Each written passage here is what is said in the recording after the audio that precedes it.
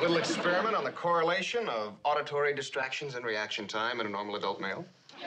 You? Loved Pete. I loved him, loved him, loved him, loved him. Pete just was Pete. Bless him and goddamn him, um, because he isn't alive and he, you know, killed himself. So uh, I'm sure I'm not the only one in the world that wish he hadn't done that. Um, he was a tremendously gifted actor. Um, I never knew how troubled he was because he was always he always treated me i think like a big brother would which i hated him for. It i wanted i'm better. I'm not your sister. You don't treat me like i'm a girl. And uh, but i was gidget i think to him. I was gidget to all the cute boys that came around